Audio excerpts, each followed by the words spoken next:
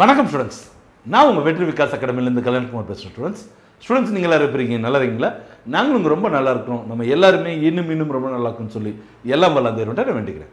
Students உங்கள் எல்லாரையுமே eleventh study plan second வீக்குக்கு வரவேற்கிறேன் ஸ்டூடெண்ட்ஸ் இன்றைக்கி நம்ம பார்க்க போகிற டாபிக் வந்து எக்கனாமிக்ஸ்லேருந்து தான் ஸோ இந்த டாபிக் உள்ள போகிறதுக்கு முன்னாடி இந்த சிலபஸ் நம்ம எப்படி அக்குமுலேட் பண்ணியிருக்கோம் அப்படின்றது தான் நான் இதில் சொல்ல போகிறேன் ரொம்ப சிம்பிளான வீடியோ இதுதான்.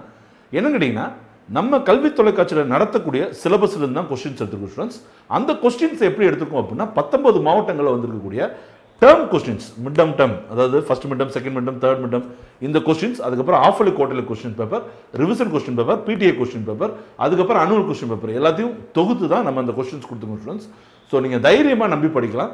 ஸோ நம்ம இதை படிச்சீங்கனாலே கண்டிப்பாக எயிட்டி பர்சன்டேஜ் மினிமம் ஸ்கோர் பண்ணலாம். உண்மையோட தவிர்த்து சொல்கிறேன் சரிங்களா?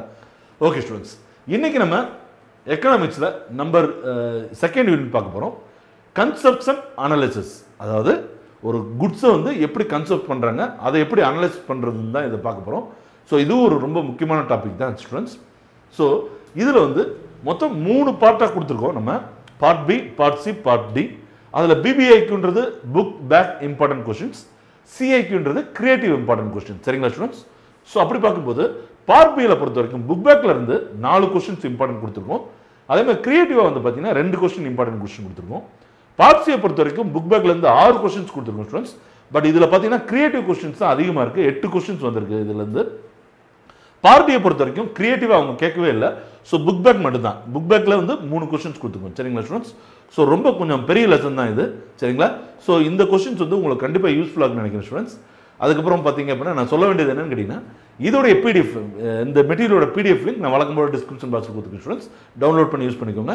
அண்ட் ஸ்டூடெண்ட்ஸ் என்ரோல்மெண்ட் ஃபார்ம் இருக்குது மறக்காமல் ஃபில்அப் பண்ணி அனுப்புங்க. அது எதுக்காகன்னு கேட்டிங்கன்னா உங்களுக்கும் எனக்கு இருக்கக்கூடிய ஒரு சின்ன பாலம் மாதிரி அது.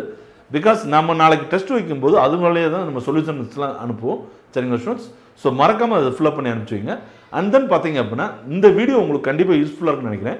அப்படி யூஸ்ஃபுல்லாக இருக்குன்னு நீங்களும் நினச்சிங்கன்னா லைக் பண்ணி கிளிக் பண்ணுங்கள் உங்கள் ஃப்ரெண்ட்ஸ்க்கு ஷேர் பண்ணுங்கள் கமெண்ட் பாக்ஸில் கமெண்ட் பண்ணுங்கள் மறக்காமல் நம்ம சேனலை இது வரைக்கும் சப்ஸ்கிரைப் பண்ண வந்தீங்கன்னா மறக்காமல் சப்ஸ்கிரைப் பண்ணிக்கோங்க. சரிங்களா? பக்கத்துலேயே ஒரு பெல் ஐக்கான் இருக்கும் ஸ்டூடெண்ட்ஸ் அதையும் கிளிக் பண்ணி வச்சுக்கோங்க. ஓகே ஸ்டூடெண்ட்ஸ் ஸோ அடுத்த வீடியோவில் சீக்கிரம் சந்திப்போம். நன்றி வணக்கம். தேங்க்யூ